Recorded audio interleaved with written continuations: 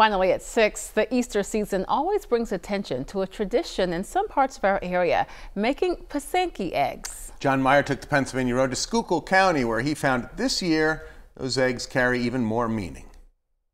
The beauty of Pysanky eggs can be mesmerizing. The color, the detail, the love put into each one.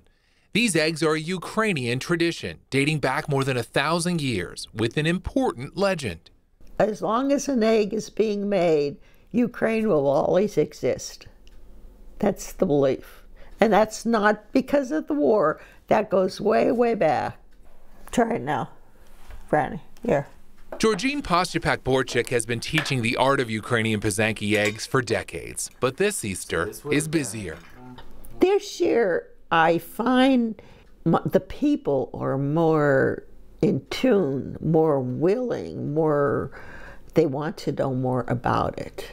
When we visited her house in McAdoo, she was teaching her granddaughter Francesca during weeks that have been filled with Pysanky classes. Georgine passes on her love of Ukraine and this tradition with a heavy heart, having lost four loved ones in the war. My cousin Ted was killed and her two children that was from on my mom's side, and my dad's side was our uh, the one in Chernobyl. For Georgine, making these eggs is a religious experience. What I want you to do here, teaching others is too. And I feel I'm bringing Christ into those people's hearts, you know, by doing an egg. And with each one also bringing Ukraine into their hearts. Even the colors used in Pysanky are symbolic. When you're putting green on an egg right now. You're, you're saying Ukraine's going to grow again. Georgine's work with these eggs is known beyond Schuylkill County. She has some in the Smithsonian's American History Museum.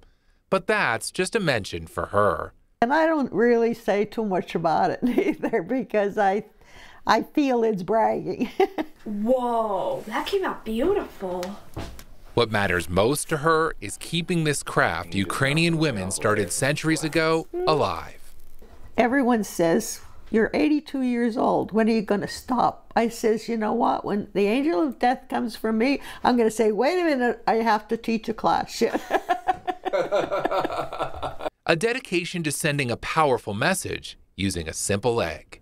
Jon Meyer, Newswatch 16 on the Pennsylvania Road in Schuylkill County.